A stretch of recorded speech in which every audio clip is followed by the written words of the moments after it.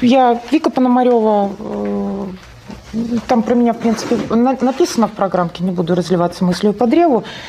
Интерес у меня, э, я последнее время задумываюсь о том, ну, что у чувств тоже есть какой-то путь развития, не только с точки зрения ну, какого-то взросления человека и даже наоборот, э, вообще не связанный с возрастом как таковым. То есть есть некоторая ну, условно, да, задержка в развитии чувств, она где-то происходит да, по какой-то причине. И какие-то переживания, они э, ну, вытесняются, уходят. Сейчас специально не буду э, пользоваться там какими-то терминами, да, так чтобы э, ну, такое рабочее тесто материала подготовить. Уходят в так называемую теневую часть личности. Да? И э, последнее время меня захватывает идея про то, как э, как созревает доверие, да, и где, э, что такое зрелое доверие, и как с ним дальше э, ну, обходиться жизнью. А, и как связано доверие с таким чувством или переживанием, или комплексом переживаний, как обида, как переживание предательства как такового. То есть очень часто клиенты приходят к нам с невозможностью любить дальше кого-то. Да? Вот подорванное доверие, а, это остановка любви и э, желание находиться рядом с другим. Да? Там муж изменил, например, а семью сохранить хочется, а невозможно. Да? Или там утрата произошла, а, там работа потеряна, и дальше работать хочется, а обиды столько, там, на, на, не знаю, на несправедливость Бога, мира, работодателя и так далее, и так далее. То есть это ну, такой, такой затык, и как с этим быть? Как с этим быть в работе и как с этим быть в своей жизни? Вот скорее вот такая э, история размышления. У меня нету какой-то готовой модели. Это скорее вот то, что может рождаться сейчас в обсуждении, в проговаривании. Может, если захотите, тоже присоединяйтесь к идее, там, возникнет какое-то упражнение у вас в голове. Можете ну, там, посоветовать, при, присоединиться, и мы его вместе проделаем. Да? Вот, это то, про что я здесь. А вы как? Давайте начнем с такого небольшого момента. Я просто на, на что я опираюсь очень часто э, и в работе с э, клиентами, да и во встрече с собственной жизнью. Да, если есть возможность, ну вот на, просто на белом пространстве нарисуйте круг. Круг, а, обычный кружок, такой плоский 2D кружок. А 3D кружок рисовать? Ну, сейчас расскажу. С тенью. Угу. То есть просто вот геометрическая фигура круга получилась, да?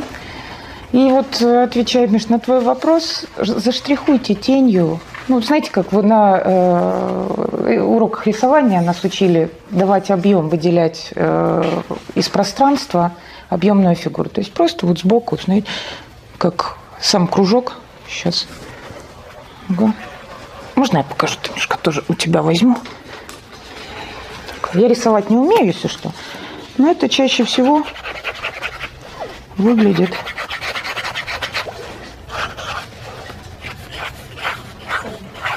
ну,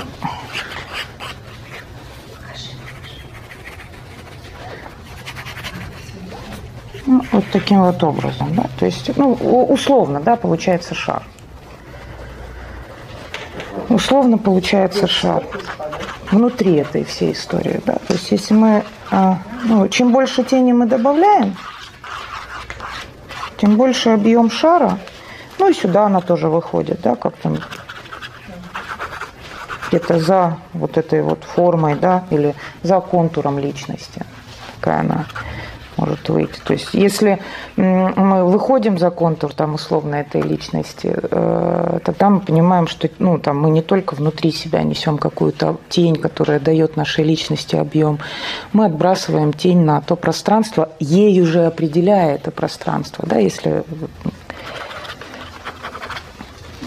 и тогда ну, из какой-то такой структуры может вырисоваться э, с, с тем или иным успехом да, в зависимости от того, как нас штрихуют, да, как нам позволяют штриховаться.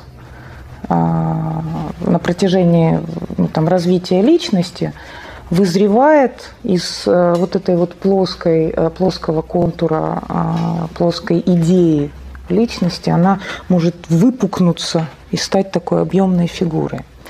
Что часто происходит? Да? А какие а, теневые переживания там формируют нас, наш объем – а, и одновременно нашими а, там, родителями, нашей средой, в которую мы попадаем, да, там, культурой, социальной какой-то э, ну, историей, социальной ситуацией.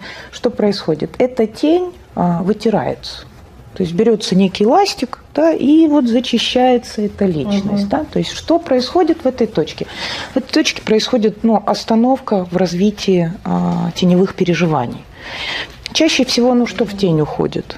В тень уходит злость, в тень уходит агрессия с ее проявлениями разного рода, ну такими, ну что такое э, агрессия, да, aggression, движение навстречу, да, progression – это, ну, вперед, aggression – это вот э, движение навстречу э, и на столкновение с чем-то или с кем-то.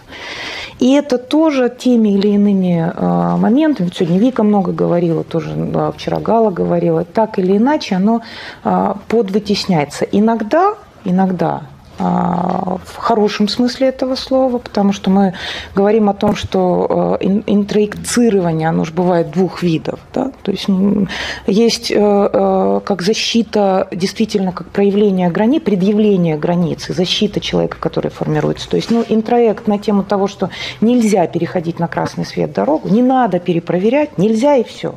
Да, там, а, достаточно там стыдно ходить голым по улице. Да, это опасно. Ну, во-первых, можно простудиться, да, во-вторых, ну, можно быть избитым, э, осмеянным, остыженным. Тогда мы детям говорим, слушай, вот это, похоже, стыдно. Да, и тогда стыд, как регулятор социальный, он скорее обрамляет эту тень, нежели вытирает, зачищает.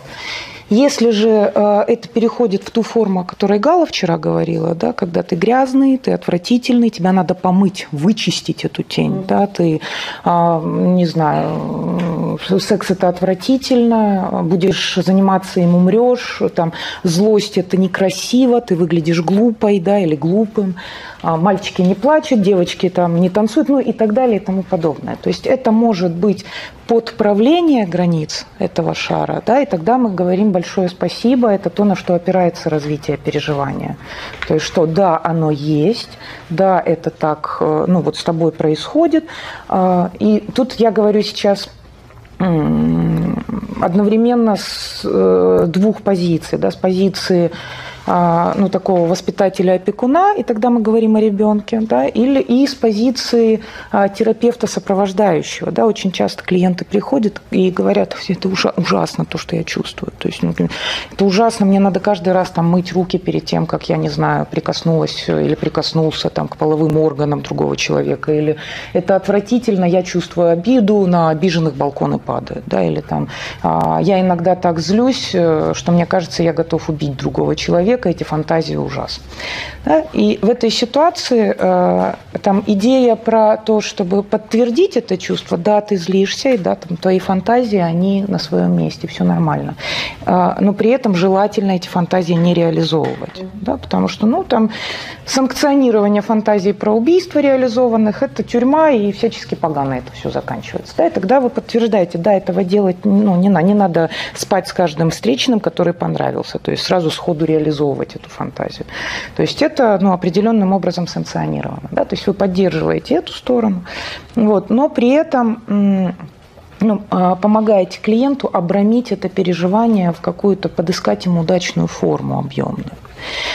И э, возвращаясь к тому, какие э, э, ну, чувства ну, там, могут быть вытеснены в тень, и давать объем этой личности, хочу обратиться к вам, чтобы не звучать как лекция. Да, там, что, как, как с вами, когда рисуете, что происходило, какие вот переживания в таком формате придания тени. Ну, мне очень нравится. Угу. Мне очень э, нравится. И Э, потому что я обращаю внимание, я очень четко границы разделяю, где, где я заканчиваюсь, да, где моя э, выпуклость, какая моя выпуклость э, в тени, да, и э, именно от этой части э, отбрасывается тень на среду. Я, я прям кайфую в этом. Мне кажется, очень красиво. Правда красиво. Ну, и я правда. понимаю, что это красиво, это не только про рисунок. Вот. Ну, на мой взгляд, это действительно красиво. То есть, ну, э, Когда я знаю об этом, ну, когда я это не затираю, когда я знаю об этом. м. Тоже, когда рисуете, обращайте внимание на то, какое количество там вот этого ну, шара уже, какое количество вы готовы затенить, какое хочется оставить вот, ну, светлым, совсем таким отбрасывающим, возможно, свет, отражающим свет, э, продуцирующим свет изнутри, возможно.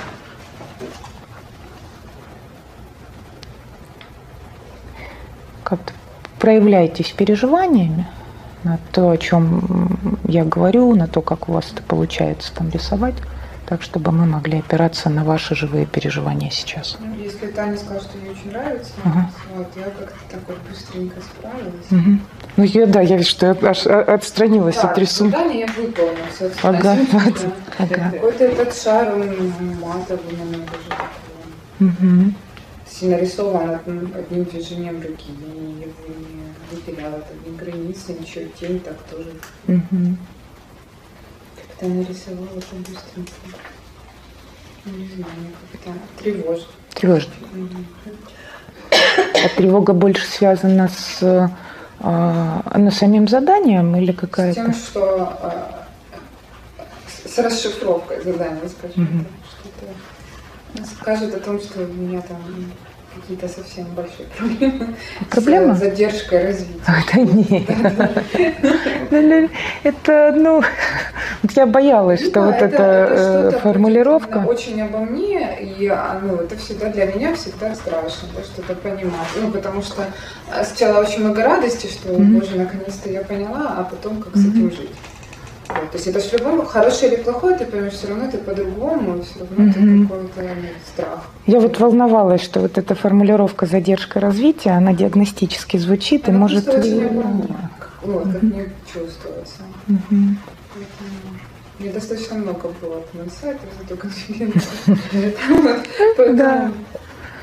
Ну, смотри, ты а- а- аккуратно, ну так экологично с собой обходись, если там чувствуешь, что что-то, э, что-то как-то буря мглою небо кроет, ты э, сигнализируй. Если там способлена сама останавливаться, ты останови. Если нет, ты Вика, тут что-то буря, мгла, небо кроет, все, давай мне, ты мне нужна. Мгм.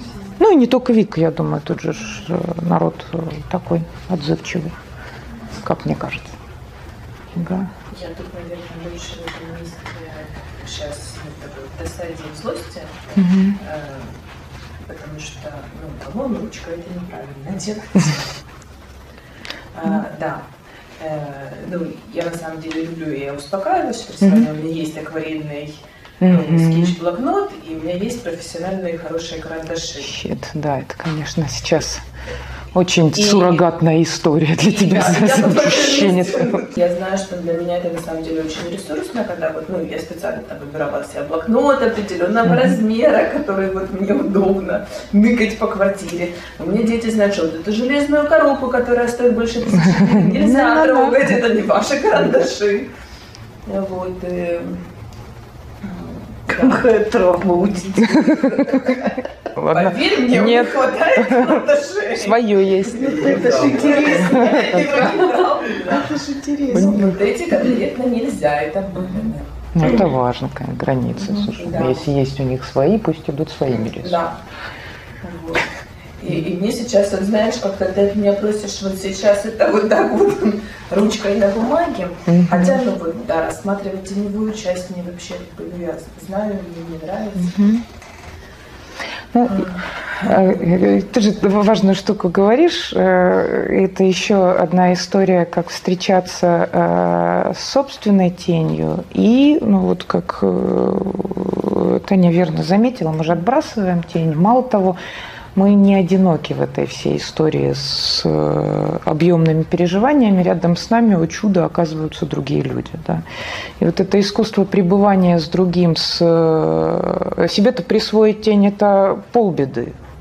Вторые полбеды это э, э, делегировать или заметить, или ну, тут разрешить не то слово, это просто ну, как, как контроль, а признать право на тень у другого человека.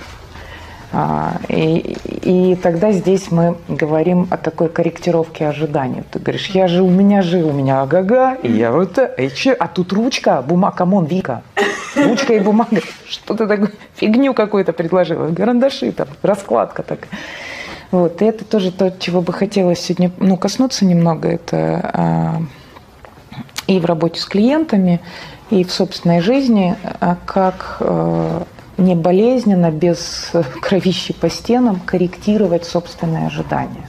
То есть не контролировать, не отрезать, а корректировать по отношению к другому в соответствии с признанием того, что, ну, как-то, опять же, я это я, ты это ты, моя тень это моя тень, у тебя она тоже есть, я признаю, мне с этим, конечно, ужасно, я, конечно же, хочу, чтобы ты перманентно, недвижимо ко мне был повернут только светлой стороной.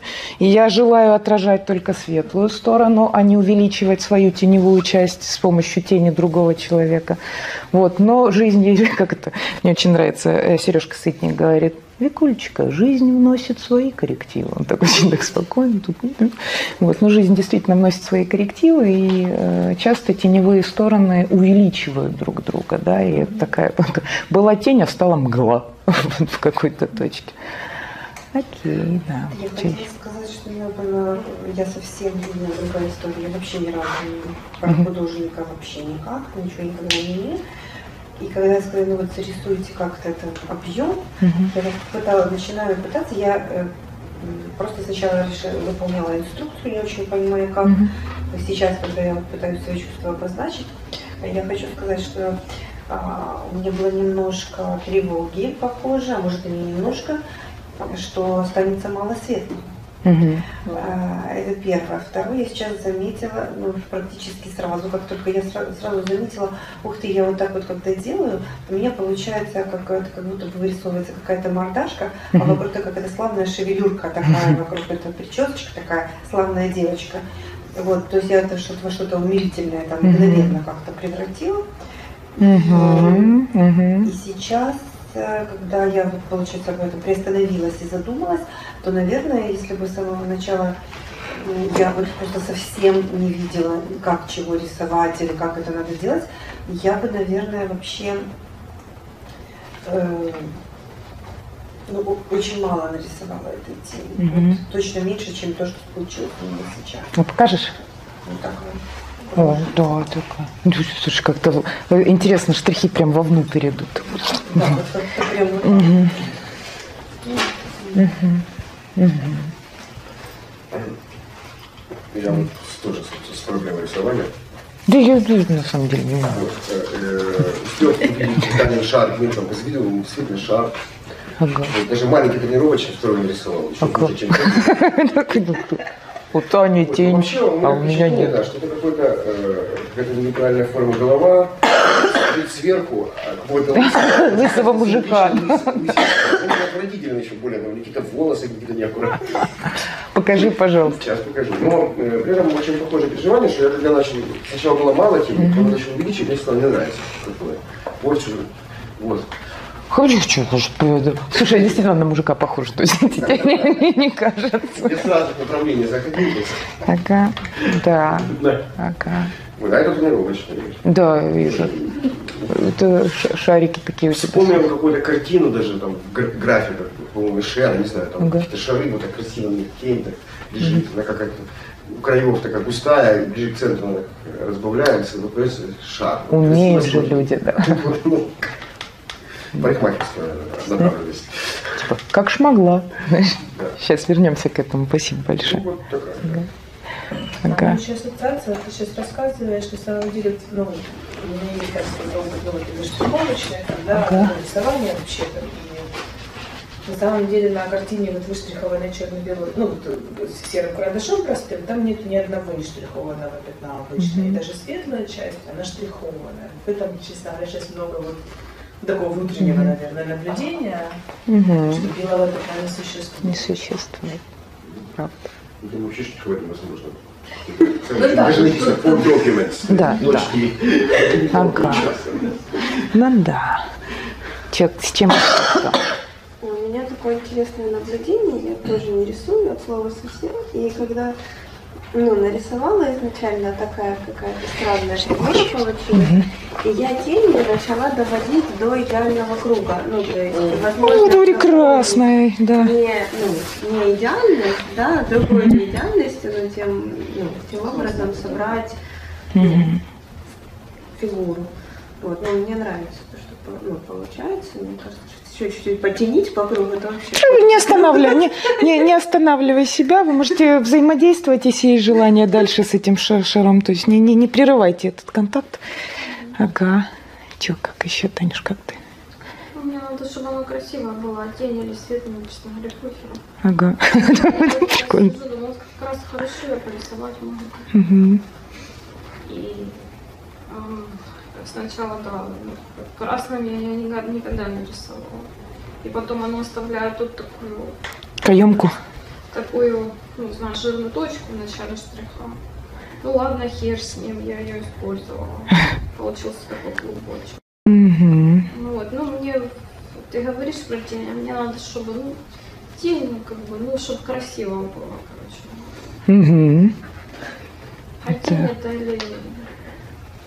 Главное, чтобы И костюмчик мне сидел. важно, что у меня есть время для того, чтобы этим заниматься сейчас. Да. Потому что я боялась, что мне не хватит времени, мне вот эти данные сделать то, чтобы мне это нравилось. Ну, спасибо, то есть у меня есть на это время. Да, есть, правда. И, кстати, ну, ну, я же говорю, можете продолжать там возвращаться к этой а, ну, своей э, фигурке на протяжении всего обсуждения. Совершенно это не значит, что там отложили тетрадочки и идем дальше. Нет, это как-то отказался от идеи по- порисовать, Сашка. Да? И Мару, Марус так. А ты не. Не? Что ты скажешь про это или... Ну, мне все нравится. А. Ну, смотрите, если э, ну, там, опираться на ситуацию здесь и сейчас, можно э, такую картинку, зарисовку сделать, да, на, э, зарисовку переживаний, которые вызывают столкновение с, те- с собственной тенью и тенью другого человека, и зарисовку приблизительных стратегий взаимодействия. И тогда мы говорим о э, отвержении, отвращении, э, злости, э, стра- скорее а, нет, вот здесь страх, а здесь, э, подскажите, Тревога. Трево- ну, тревога и готовность, ну, так что-то быстренько изменить, да, замазать кучеряшечки, бантик, то есть как-то, ну, это тоже трево- тре- тре- тревога и страх, да, то есть что, что мы приукрашаем, мы приукрашаем какие-то, на, на наш взгляд, некрасивые тревожные вещи. И если, а, ну, там, отвращение и злость ярко прозвучали, да, то здесь вот, ну, такая недифференцированная тревога, но с э, желанием приукрасить. А, здесь симпатия такая прям. Я бы ну. сказала, даже, знаешь, ну, отслеживаю а, возбуждение. Возбуждение, да. того, что ну, мне нравится. Возбуждение тоже табуированное, но это скорее не чувство, это состояние табуированное. То есть нельзя, запрещено, возбужденная женщина какая-то не такая, как должна быть, да? Нужно быть Опасно. очень опасная, точно, опа- опасная и какая-то вот э, стыдить надо это дело, тушить, сушить, затенять, да, затирать. И здесь помогите справиться. А, ну, отказ от деятельности совершенной, да, там, то есть, ну, как- ну, не, не, не то чтобы... Не хочу, мне нравятся все остальные, свое не хочу, да. А, а, У меня во- возм- восприятие исходных данных Мгм. и страх не. Мгм. Спешка. Здесь как-то, как ты говорила, так интересно, я что-то вылетела Мне из головы. понравилось то, что ты говорила. Нет, э, Не идеальная форма была, Ага. я начала затенять и доводить Мгм. до идеального. Ну, Мгм. Да, стремление соответствовать, да, тоже. Мгм. Идеал. а Это, мгм, да-да. кажется, не про соответствовать, ну, если не возражаешь, а про то, что а, своими ну, тенями, да, вот темными сторонами доводить до, до формы, ну, до полной формы, до полноты. Кто сказал, что там она должна быть такая? Ну, Не знаю, тут скорее я, я сейчас не иду за идеей, что у меня есть какая-то э, ну, критерии по работе с проективной. Это проективное, по большому счету, такое упражнение. А, просто оно, э, я скорее использую его как иллюстрацию того, как мы встречаемся с собственными переживаниями, вытесненными ну, в так называемую теневую часть, да, и с переживаниями клиента, который вдруг э, либо а, внезапно, либо там хронически сталкивается с а, болью обнаружения объема, который был по какому-то, а, ну, теневого объема, по какому-то стечению обстоятельств, по какому-то его жизненному пути. Он был усечен, обрезан, высветлен, выбелен, вытерт. Э, ну, то есть вот это остановлено действительно вот это вот развитие выпуклостей – да, это можно ну, идти в сторону э, идеи там, формирования, а, ну, не знаю, вторичных половых признаков, как выпуклости. Да, то есть то, то, что останавливается кем-то. Да, часто это родители или, как я уже говорила, модно сейчас называть, да и, в принципе, на мой взгляд, правильно значимые опекуны, потому что часто это не родители, это могут быть бабушки дедушки, дяди, тети, это могут быть воспитатели в детских домах и так далее и тому подобное. То есть, скорее, такие фигуры значимых опекунов. Ну да, часто мама и папа.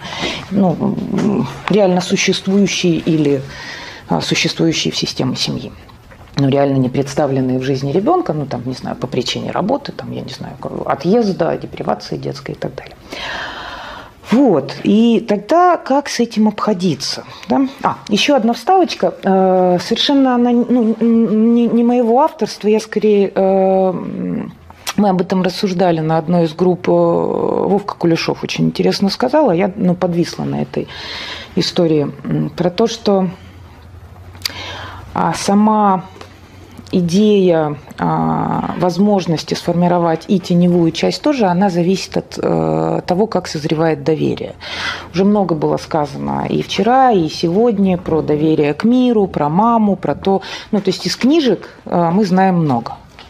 Вот. А я предлагаю вам ну, такую тоже метафору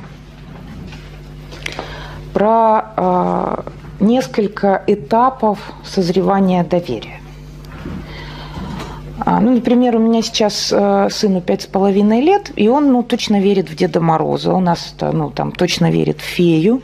И я э, ну, как-то не, не мешаю им это делать и как-то даже поддерживаю пока что это мистическое мышление, потому что, э, ну, на мой взгляд, понятное дело, э, взгляд материнский, мне скорее хочется немножко придержать. Помните, там в Мэри Поппинс есть а, там, фраза про то, что пока еще они слышат голоса птиц.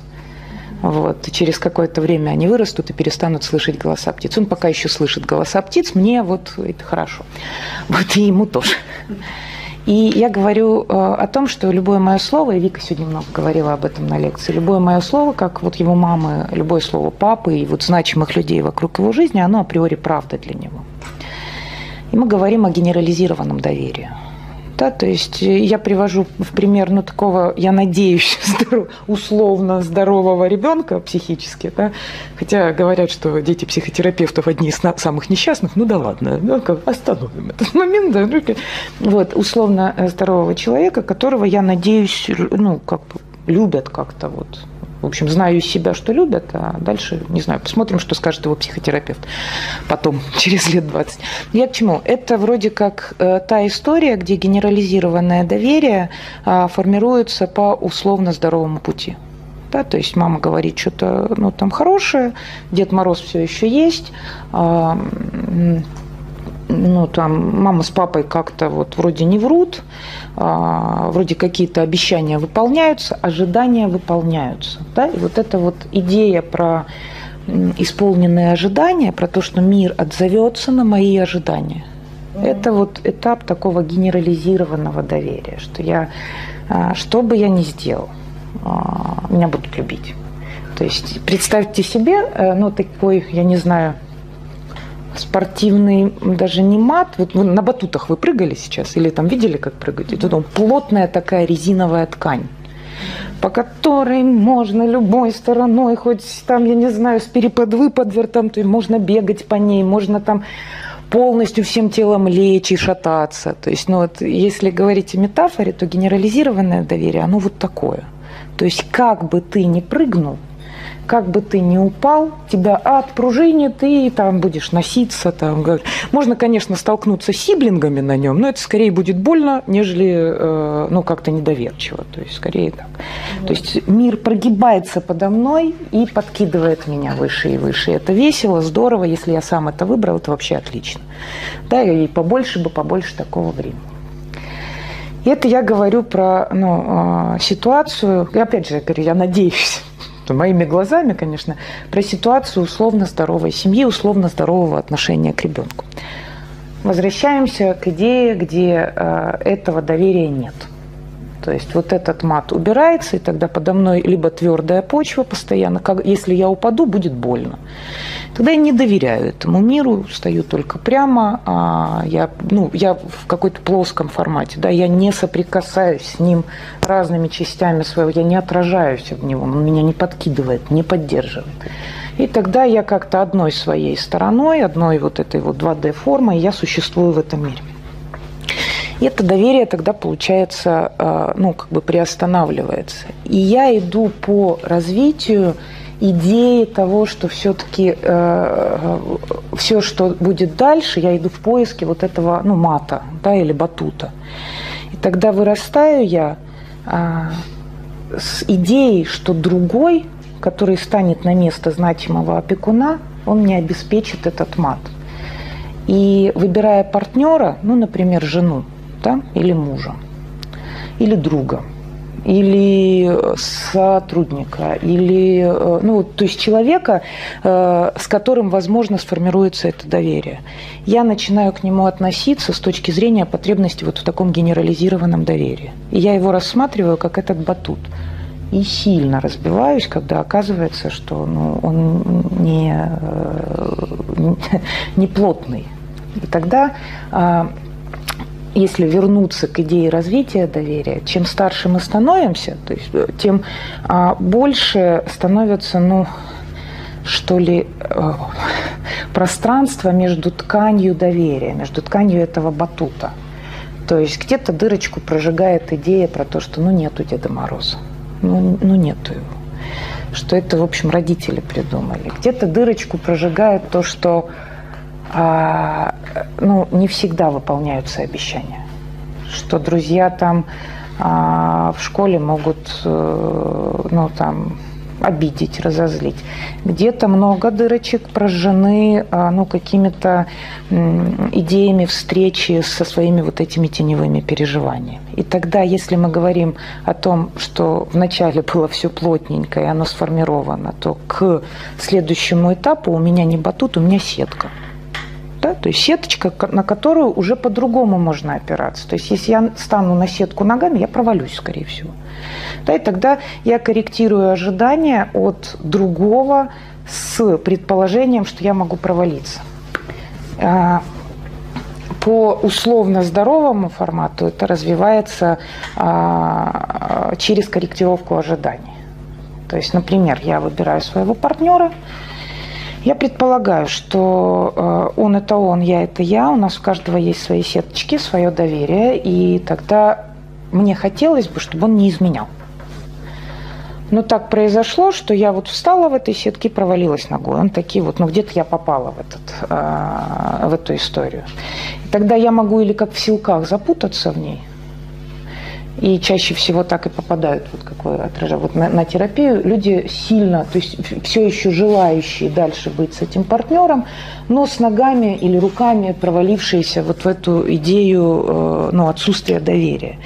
Могу запутаться и могу воспринять вообще как потерю доверия не заметив, что эта сетка, с ней просто ну, по-другому есть смысл обходиться, если я хочу дальше продвигаться, угу. понимать, что я ну, э, упор делаю на какие-то ну, там, стабильные пересечения да, сетки этой. То есть я, я опираюсь там, где есть опора. Там, где нет опоры, я признаю ее отсутствие. Я признаю, что у человека есть свои теневые переживания, он тоже шарик, а не, э, там, а не плоский там, кружок.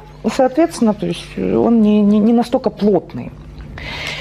И начинаю диалог, начинаю договариваться, начинаю определять вот эти, то, что называется определением границ. То есть я определяю границы этой сетки, чтобы не проваливаться.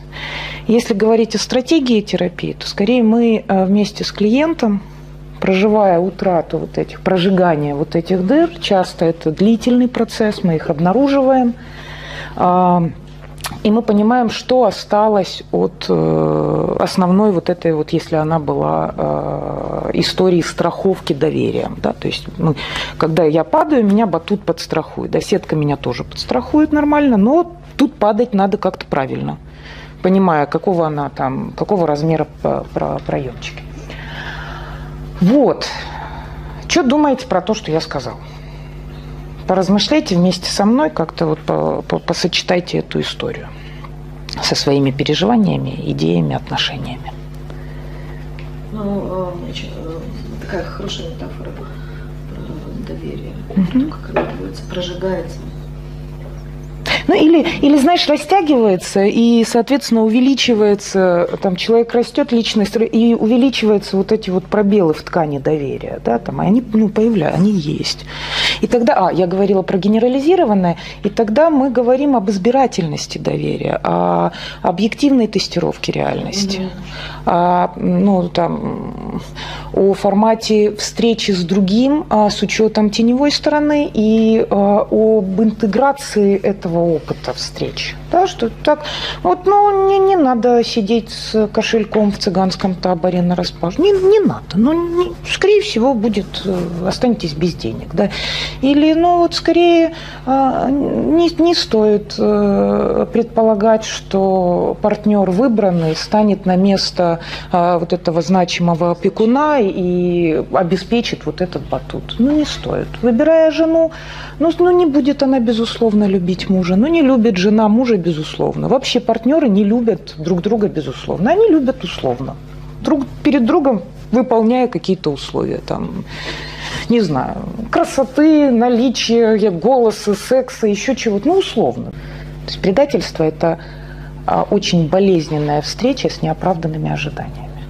То есть я ожидаю что-то от человека, а он мне не дает это мне больно. Я провалилась в вот это вот переживание предательства. Сашка, ты так улыбаешься, интересно. Расскажи про что. Ну, вот это определение любви, оно, мне кажется, не совсем верно. У меня другое. Любишь mm-hmm. не за что-то, а вопреки чему-то. Ну, или вопреки, но это же условия, Саш? Ну, то есть я говорю про условия, условность в, во встрече с другим. Ну, то есть это будет к или от, но все равно условия. Это не базовая история вот этого мата, базового доверия, которое может обеспечить э, ну, какая-то семья. И тогда в этом плане достаточно много разочарований идет еще тоже. Да? Ну, да. Вот такой человек не плотный получается, не, не полным телом на него можно опереться. Не, не... Мне кажется, что вот эта сетка, если хорошая mm-hmm. метафора. Спасибо. Э, самом деле, если мы уже правда говорим про отношения любовь, да, несомненно, встреча происходит точно на условиях и какое-то время держится. Но тем не менее, со временем условия условиями, но, правда, мне кажется, эта сетка ячейки становится меньше на самом деле. В близких, близких отношениях? Конечно. Слушай, правда, наверное, и, такой да, стягивает. если кто-то становится успешным или неуспешным, это условие может сработать, но оно точно не мгновенно сработает. Угу. Возможно, потом будет вторая волна растяжения, конечно, когда это будет долго, но точно. Ну, то, точно.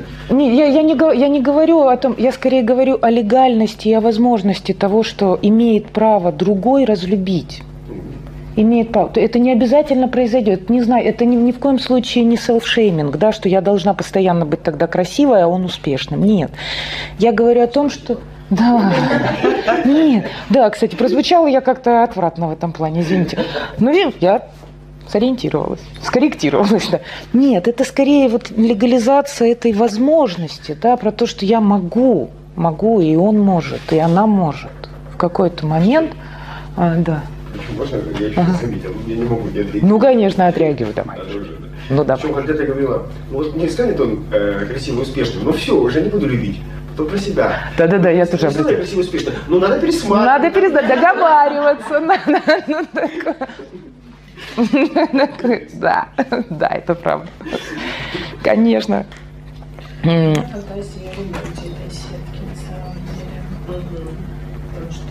если так рассматривать... Терапия. А, да, я поняла, да. то какие-то все-таки штуки, которые там совсем были прожжены, значимыми, как у нами, да? И там, где совсем большие дырки, ну, я не могу сказать, что они стянулись. Там, скажем, там какая-то латка появляется угу. время от времени, если туда... Или туда просто не ходят. Понимаешь, ну, если, если я знаю, что в этой э, истории ну, дыра, случайно проваливаются, то есть на, ну, э, э, всячески проваливаются, если не заметили, но не, и, да, да, да, да, да. То есть часто это обнесено флажками, я могу занести, меня туда может занести травма, и занести, ну, там, ветром перемен каких-то, да, то есть, да, да, да, и тогда это зона, которая ну, вытесняется из идеи вообще себя как такового. То есть мы туда не ходим. Ну, то есть я об этом не разговариваю. Это меня не волнует, я не буду говорить. Да? То есть это да. И тогда на терапии, когда а, происходит легализация там каких-то этих дырочек и всего остального, легализация там возможности не выбирать другого даже если выбирал до этого. Легализация возможности э, злиться, ругаться, отвращаться, переживаться, быть несоответствующим и так далее и тому подобное, тогда в терапии как будто бы ну, немного приоткрывается вот эта история прорванной сетки. И постепенно, э, как это, как паучок, терапевт с клиентом залатывает. А как это? Ну, вот не знаю, сейчас тоже еще поделитесь своими. Вам вообще как? Туда мы продвигаемся или... Ну, ну, мне кажется, да. А, только я почему-то Сейчас ты сказала про терапию, я что-то думала, что это про двоих, вот э, между кем доверие. Угу.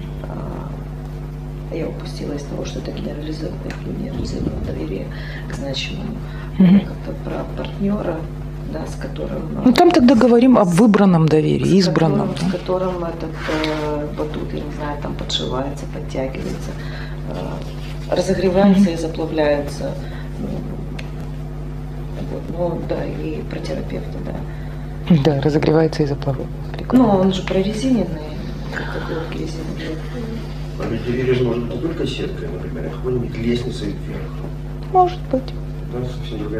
Не, я просто скорее, знаешь, сетку и батут беру как страховочные такие, ну, э, метафору страховки при падении. Вот я же поэтому mm-hmm. подумал об этом на самом деле, что будто бы мы сейчас его рассматриваем в ключе именно падения, ну, страховочно. Да. А может же быть не только страховочное доверие, а опорное в плане не, ну, когда куда ты движешься себя вот вверх, mm-hmm. и используешь это не для страховки, а скорее, ну, как Угу. Ступени. Следующую Ступени. ступень, за которую ты цепляешься. Потому угу. что страховка уже может быть хорошо все, да. И как бы это же тоже, мне кажется, доверие. Угу. Ну, это какое-то фундаментальное доверие, которое а, ну, неразрушимо.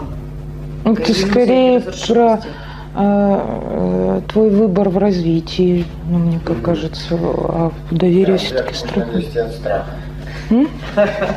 Теперь можно вести от страха перед тем, что упадешь. Угу. Внизу опасно, начинать разглядывать. А если нет, ну, да. Угу. Не, классно, что рождается. Я, я не знаю, правда. Тоже интересная идея про э, доверие такое, как стабильную какую-то структуру. Просто да. Ты же, да, когда ребенок растет, ты начала с детства, ведь э, правильно, в этом возрасте абсолютно доверие. Нужно только я побегу, а мама подбежит, ну, подхватит угу. и так далее. Он же, еще и правда опирается на то же доверие, делает попытки mm-hmm. роста. mm-hmm. именно опираясь тоже на доверие. Мне кажется, что здесь есть... Чуть-чуть да. Ну да, я просто, если развивать историю лестниц, э, идею лестницы, да, есть еще какая-то а, реальность, на которую мы вообще ну, мало влияем. Это реальность э, нашего взросления. И тогда это э, сама среда э, подсказывает, сама эволюция, сама там э, история миллионов жизней до меня про то, что есть некая структура, что хочу я этого, не хочу, но мне какое-то количество лет. Хочу я этого, не хочу, но я в каком-то состоянии тела у меня находится. Это, ну вот, знаешь, такие опорные точки про то, где я вообще, ну, не, ну, хочу, не, не хочу, но у меня размер ноги будет увеличиваться. Ну, придется под это как-то вот и тогда бессилие можно рассматривать как доверие. Бессилие перед э, тем, что а, я подвержена каким-то изменениям, то есть что мы можем однозначно гарантировать э, в своей жизни? Мы можем однозначно гарантировать изменения. дальше мы ничего гарантировать не можем. То есть изменения неизбежны. И тогда вот это бессилие по отношению к неизбежности изменений можно рассматривать как вот эту лестницу, что ну вот Хочется, не хочется, но повзрослею. Ну, в смысле, физически я имею в виду. То есть я как-то вырасту. А, или я какой-то формы тела, какого-то пола. Нет, там можно, конечно, изменять, но там всячески, ну, туда не пойдем сейчас, боюсь, за, завязнуть.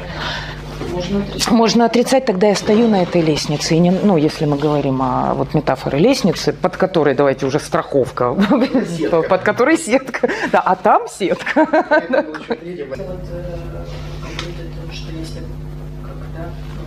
базовым выбрать ну, аксиоматическим, что да, ну, вот есть Эвклидовая геометрия, в которой mm-hmm. предположили, что две прямые параллельны. Да, mm-hmm. есть не Евклидовая, где предположили, что две прям, ну, Евклидовая, что две прямые параллельные никогда не пересекаются, mm-hmm. и Евклидовая, что они там где-то в точке бесконечности пересекаются, да. Mm-hmm. Э, прошлое, да. Mm-hmm. Вот. Ты прекрасно. И там построилась геометрия на самом деле полностью, mm-hmm. и там построилась параллельная, а другая, да. Mm-hmm. Да, если вот там туда переходить твои метафоры, да, есть э, в базе какое-то, да, что какое-то доверие есть, mm-hmm. да, ну, к социуму, да, и тогда туда строится избирательное что-то. Вот здесь дырочка, вот здесь дырочка. Mm-hmm. Тогда может быть штука, там, если в базе доверия никакого нет, безопасности никакой нету. Mm-hmm. И вот только какие-то э, маленькие островки могут со временем ну, возникать. Mm-hmm.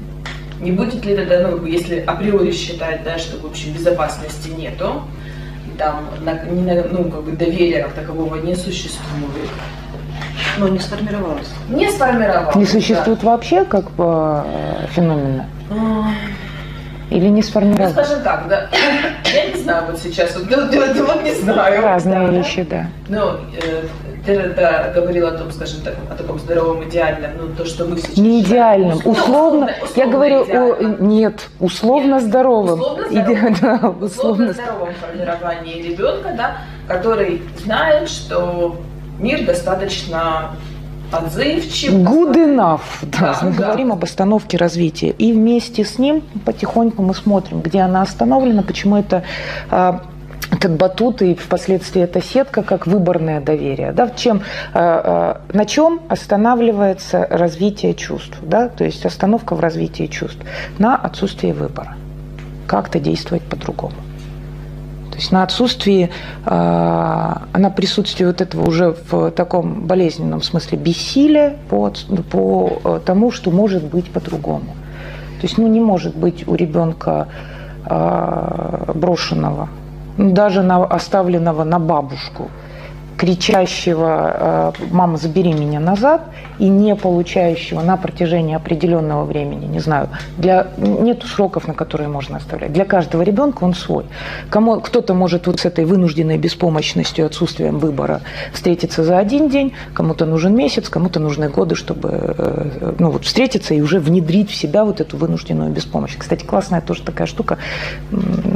Потом. И, соответственно, вы ну, э, проверяете, где это, где это вынужденная беспомощность, которая остановила а, развитие э, доверия из генерализированное в выборное, когда я выбираю, на какие точки опорные ставить руки, для того, чтобы, ну, ноги, руки, не знаю, метафорически, для того, чтобы не провалиться да, в другом партнере, а, в другом как таковом, или в мире как таковом. То есть мы говорим, мы рассматриваем там три, э, три три уровня, да, отношения с собой, с миром и с другим человеком. И там, и там, и там может быть вот эта вот э, история э, с матом или с, с матом, с батутом или с сеткой. Вот. Туда ли мы двигаемся вообще? Я вот так как-то... Как вам сейчас? Вы поделитесь своими переживаниями, куда? А куда? Меня очень выученная беспомощность сейчас зацепила. Угу. Выученная беспомощность. Очень интересная эта штука. Но может же быть страшно пользоваться этой сеткой? Конечно. Вроде бы как. И видишь, что в нем такие же большие дыры. Угу. Шансов провалиться мало, но... А, может, может, конечно. И чаще всего Знаете, в чем Давайте отзовемся, и я еще одну штуку скажу, а то я боюсь, что я заполняю все пространство. Ты что-то говорил. Я, да, может, и сейчас я вернусь к этому вопросу. Ты начала о чем-то говорить, Мишка. Ты первая, по-моему, Не, я уже закончил. Я побыстрее Саша выразительно очень интересован. Да, это правда. Становится любопытно, что ты думаешь. Ну, это так пропустил что-то, прошу прощения. Я подумал вот о чем. Просто вот пришла в мысль, мне была важна, что благодарен буду. Когда ты говоришь про глубокую переработку, проработку переработку. Ну тоже, да, иногда. Я же думал, ну вот, я прислал тревожно даже в этой точке в терапии, когда ну вот, ну да, вот у клиента с базовым время полная жопа там. Что с ним делать, он же взрослый, живой, ну как это? Я же вернусь с ним туда, в три годика, там, или в год вообще, когда мама не обнимала и сиська там не кормила, когда он кричал. Потом подумал, что это же классно, ведь взрослая, похоже, психика, она точно обладает очень большим ресурсом. Угу. И вот как раз для меня это стало очень такой какой-то приятной точкой, что опорный в физическом процессе. Можно об этом даже клиенту говорить, что ну, да, было бы так, но ты сейчас угу. точно знаешь этим ресурсом. Ну, попробуй использовать твой взрослый ресурс. Угу. Вырастить эту часть вот, вместе. Не знаю, что такая идея была очень приятная. Угу. Если признаешь за клиентом, что чего-то не было и что-то уже произошло, иногда что-то страшное. Ну, правда, мы говорим, часто к нам приходят э, люди с большими, серьезными, даже не дырочками, а взорванными нахрен по, по, по стенам разлетевшимися этими батутами. Да? И тогда признание того, что это произошло, а он выжил – рождает внутри базовое уважение к тому, что он здесь есть, он жив, условно здоров, так же, как все мы условно здоровы.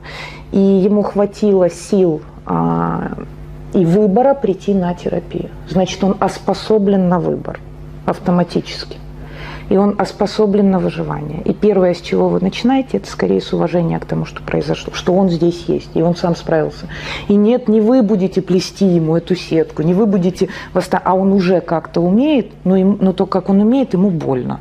Соответственно, а, вы в поиске идеи про то, как суметь, ну так, чтобы так сильно больно не было. Да? Нет, мысль ему пришла в контексте, вы же говорили про бессилие, вот я подумал, что терапевтическое бессилие в этом месте, mm-hmm. а что делать? Ну, потом вот вспомнил, что точно же есть клиент со своим взрослым ресурсом, да. пришедший сюда. Да. В этом плане, я, как э, студенты и клиенты знают, я сильно люблю супергероев. Я очень хорошо разбираюсь во вселенных супергероев. Марвел, DC и разницы, и мне всячески нравится рассуждать на тему того, как вот эти две вселенные, и киновселенная, и вселенная реальных комиксов обходятся с идеей а, компенсации травмы. Потому что это всегда травматики, это всегда и супергерой, и суперзлодей, всегда какая-то история или сценарий, повторяющийся, ну, там, в разных... А, да, нет, это просто очень такой э, повторяющийся сценарий, да, супергероический. каждый клиент, который к вам пришел, он уже по отношению к своей жизни или супергерой, или суперзлодей. Ваша задачка как-то с этим быть, так, чтобы ему не так больно было. При этом все равно с идеей, что он действительно супергероический, как-то справился на трех уровнях. Ну, угу. себе, паре и социуме. То есть получается, ну, это та метафора, которая у меня возникла. Я сказала себе, другому миру. Ну да. Не ну, социуму, миру. Ну, это более экзистенциальное переживание. Социум это другой. Только, друг, только их там много других, да. То есть. Ну, то есть получается, это сетки три, они накладываются друг на друга. Ну да. Ну, таким образом создается ну, как бы дополнительная безопасность. Да. Иногда, ну, правда, иногда прорыв э, в одной, иногда там прожжена вся история вот этой вот стройной страховки, да, а иногда где-то в одном формате. И тогда работа соответственно тому, как вот вы обнаруживаете этот прорыв вместе с клиентом. То есть в базе, скорее всего, миру как таковому, это такая, а, ну вот, э, базовая детская история, да, когда провал. Если мы говорим о доверии другому, это такой провал, ну, в базе это шизоидный провал, если возвращаться к э, гештальт-терапии, в другом это такой невротический провал, да, а, и себе это скорее нарциссический провал такой. Да? Ну, там, если, ну, опять же, наложить какой-то такой знакомый, возможно, нам, нам термин. И тогда, э, смотря кому я не доверяю, да, смотря где, в какой точке, почему, из-за чего это произошло, здесь это уже такой толчок для исследования конкретной жизни другого. Да, и, и, правда, эти дырочки часто поражены а, ну, вот такими шариками. И точно вы будете тоже таким шариком, который прожигает сетку другого человека. Иногда вашего ребенка, иногда партнера, иногда а, близкого человека, иногда матери или, или отца, или просто другого. И скорее бессилие перед этим может или э, лишить меня выбора, да, и я могу погрузиться в переживание, в пучину, ну, в чем феноменология бессилия, да, это в тугой жгут перетянутых три э, аффективных переживания. Это э, ярость, это ужас и это стыд.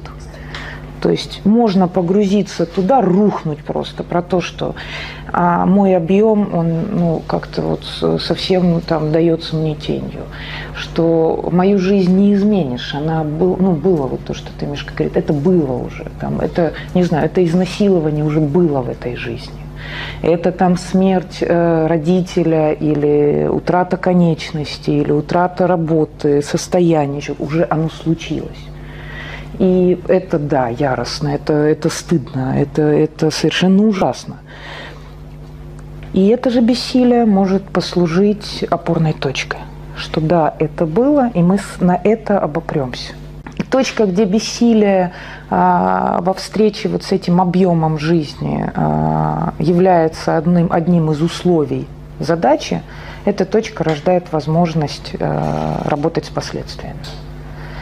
Если это бессилие не является а, условием, если это, ну вот, эта идея про себя как, и давайте сейчас еще раз я так выскочу в э, профессиональную позицию, про себя как про терапевта, у которого тоже есть объем, шар, вот эта вся тень, все эти э, прекрасные идовые переживания, какие-то там опыт, события в жизни, которой тоже жизнь наша наполнена. Мы знаем, в терапии идут э, э, люди с каким-то тоже опытом, часто травматическим. От легкой жизни в эту работу редко идут.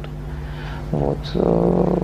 Часто там это раненый целитель. Часто это какой-то человек, у которого там свои шрамы подзатянулись, он понял, как этими шрамами поработать. Вот, ну и идет. Терапия – это процесс, на мой взгляд, процесс возвращения, способности выбирать какие-то э, способы обхождения собственной жизнью. То есть сначала процесс ну, большого такого уважения, знакомства с человеком, который уже выжил после каких-то э, изменений – а дальше э, корректировка его ожидания от жизни, и корректи... не, не вы корректируете, а вы встречаетесь mm-hmm. с его корректировкой, вы сопровождаете. И э, увеличение количества э, способов обхождения, да, поиск хорошей формы обхождения со своей жизнью, обхождения со своими переживаниями, признание формы собственной, где есть тень, где есть... Э, э, не обязательно, что будет кружочек, это может быть любая, любая фигура, да, любая форма. Да, вы ищете вместе с клиентом. Помните, что для того, чтобы у этой формы был объем, скорее всего, этот объем даст тень. Тогда, когда вы там замечаете эту штуку вместе с клиентом, э, отражаетесь своей тенью об него, тогда, возможно, изменения, те изменения, которые неизбежны, будут в сторону большего качества жизни. Вот. Если этого не происходит, то скорее усугубят а, боль у другого. Че, вот так. Что-то хотела еще рассказать. Да, ты же рассказала или нет еще? И просто оно достаточно оторвано. Я так приблизительно прикидывала, куда может завести идея про доверие. Угу. А, ну, видите, скорее остановились на базовой вот этой вот метафоре. Есть же еще такая прекрасная история про то, как а, впоследствии с неоправданными ожиданиями, вот этим а, предательством и а, переживанием глубокой обиды. То есть вот это вот работа. Хотите еще послушать? Давайте, да, у нас, у нас 15 минут. Обида. Я могу рассказать, это, опять же, не претендует на объективность, я могу рассказать, как я работаю чаще всего с обидой. Я представляю себе обиду в метафорическом плане как колодец. Ну, то есть есть некий человек, который э, обижается, есть некий человек, э, на которого обижаются. А почему обида настолько цена? Да? То есть обиду как э, переживание хранят э, намного дольше, чем любовь, намного э, она ценнее оказывается, и с ней намного сложнее справляться. Э, буквально поколениями, народами она поддерживается. Почему? А, потому что, ну вот представьте себе ну, встречу двух людей, человек, который обидел – он падает в колодец по отношению к человеку, который обижен. Ну, вот здесь они находятся на разных уровнях. Этот э, из колодца вылезти не может, потому что тот постоянно обижается на него. У него очень маленькое, ну, замкнутое э, пространство вот этих неисполненных ожиданий. То есть он раз провалился в мое неисполненное ожидание. Ну, не знаю.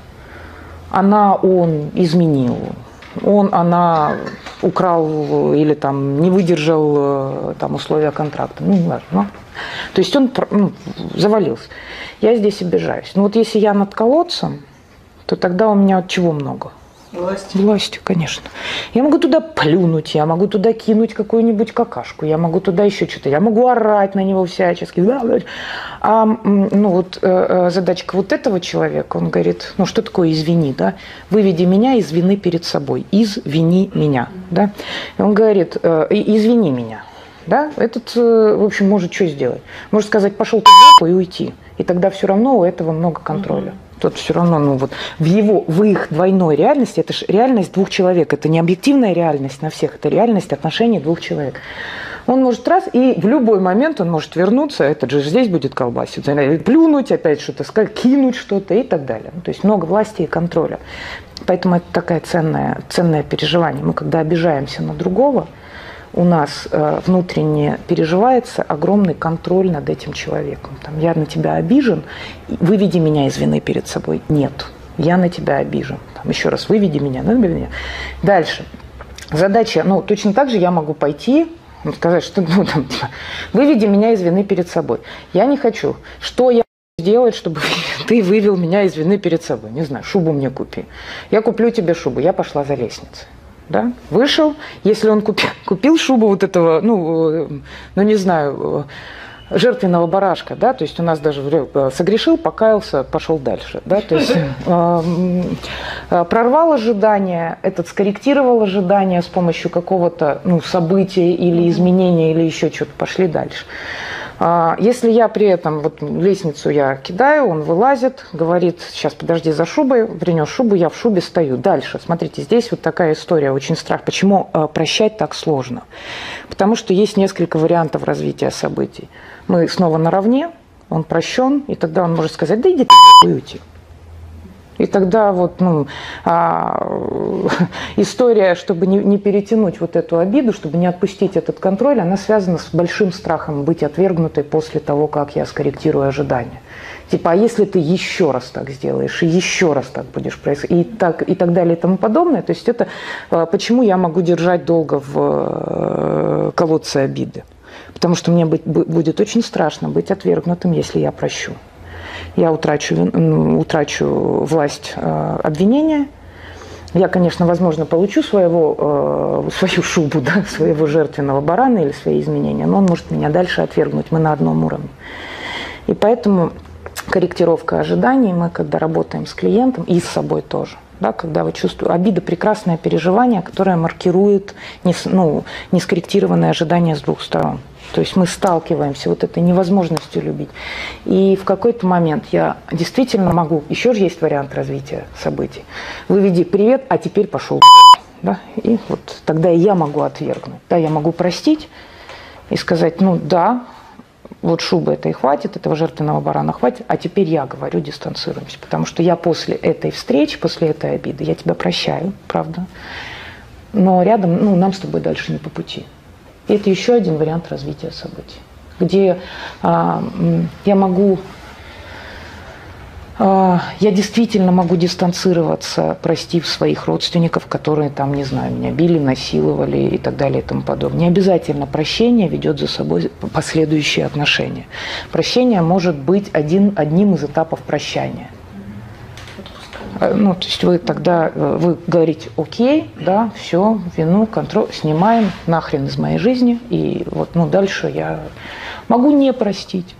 Можно не простить э, тех, кто меня бил, избивал, насиловал и так далее. Это тоже, ну, а тогда в пакете все включено, периодически из недр подсознания они меня, да-да-да, идите, тьфу-тьфу-тьфу на вас, ну, и там, ну, то есть это скорее будет занимать мое время, мою, мою энергию и так далее. То есть есть, ну, есть э, действие, есть последствия действий. Есть действие, есть пакет, все включено. Если я прощаю, пакет все включено один. Если я не прощаю, пакет все включено другой.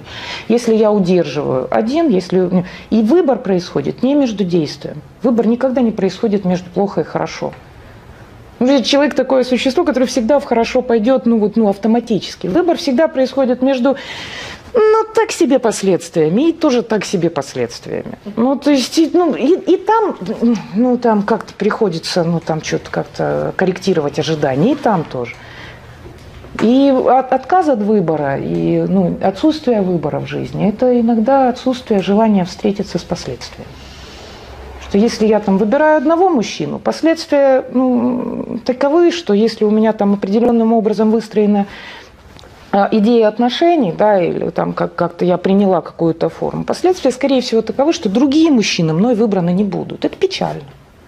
Но это последствия. Да?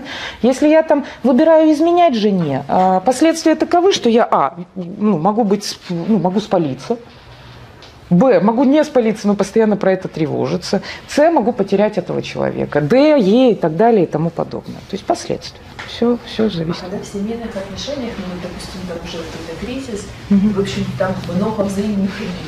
Кто оказывается сверху? Кто первый обиделся? Или что, что там вот Они, они в, э, в, сосед, в соседних колодцах находятся выскочил, плюнул туда, упал обратно. Они находятся в соседних колодцах. А, просто колодец, ну вообще взаимодействие какое-либо начинается все-таки с осознанного предложения вывести из вины перед собой если они не извиняются. Не, не серии извиняются, знаете, как этот анекдот э, про то, что э, Абрам Изю свиньей назвал. Его потреб, потребовали публичного извинения. Он говорит, я не умею. Он говорит, скажи, Изя не свинья, извините. Изя не свинья, извините. Знаете, ну может быть и такое же извинение. Вот. И тогда ну, и история вот этих э, соседних колодцев, вот этих взаимных обид, она не запускается, пока кто-то ну, действительно не готов что-то сделать для того, чтобы кто-то вывел из вины перед собой. И это не, ну, там тоже нужно э, рассматривать, э, не торг ли это, не, э, и, и, и вот эта вот готовность что-то сделать, она скорее, ну, если она не истинная, а, ну, как манипулятивно покупочная, да, такая, ну, типа, то она ни, нифига будьте здоровы, вернее, будьте здоровы, ни, нифига не сработает. Да, ну, то есть, если это такая история и э, не, не, не, истинного, не истинной просьбы, не истинной э, готовности что-либо делать, сотрудничать как-то, чтобы э, выйти из вины перед э, другим человеком. А для этого надо ее признать, а для этого надо, ну, вот это вот. И это вот работа семейного психотерапевта, да, когда мы останавливаемся в точке перевода, да, там часто ж, э, партнеры не, э, ну, на разных языках общаются, вы переводчиком становитесь вот между этими колодцами, ходите, так, что там его, а он, похоже, то говорит. Пойдет в жопу. А он, похоже, не согласен. Вот эта вот история. Да, да. Особе два, да. Ну и тогда вы говорите, говорите, распрямляете послание, там как-то замечаете то, что говорит другой человек, ну, действительно в паре.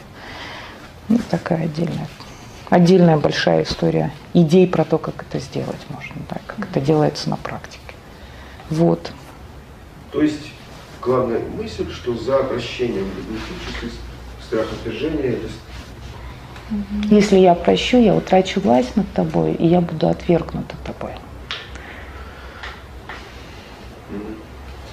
И если а для меня в этом месте же она как-то тоже существует. Конечно, конечно, я могу усилить твои страдания, накакав в колодец. А вот это чувство, когда если я прощаю, чувствую себя униженным и слабым, оно же тоже откуда берется. Я просто... Но это, м, скорее, это про, если ты обижаешься, если ты сверху унижен и слаб. Да, и это скорее действительно углубляет колодец и усложняет работу по прощению. Усложняет работу прощения. Тебе придется а, долго искать длинную лестницу, и твой выбор прощать или нет а, будет намного более сложным. Если, это уси- э, уси- если обида усилена унижением, усилена оскорблением, усилена физической болью. Здесь очень важно знать, что есть выбор и у вас, и у ваших клиентов не прощать. Нет, Он с последствиями, но как это, родители выбирают. Выбирают, э, ну, продолжать отношения или колодец настолько глубок, что мы просто знаем, что он там есть, и туда не ходим. Огород, огораживаем. Круто рассказать клиенту, что, слушай, выбор не прощать, он же точно про то, чтобы сохранить связи отношения. Да, так в том-то и дело. Особенно обижаются на ушедших, умерших. Потому что обида лучший э, проводник памяти. Любовь никогда так память не удержит. То есть это, это просто поколениями передающиеся такие цен, драгоценности э, э, обиды. Тогда появляются вот это ну, сложные муки выбора, идеи выбора и все остальное. То есть вы возвращаете эту способность, а дальше уже ну как пойдет. Дальше уже ну, опираетесь, как ты говорил. Как Бог на душу положит. Ну что, завершаемся. Кто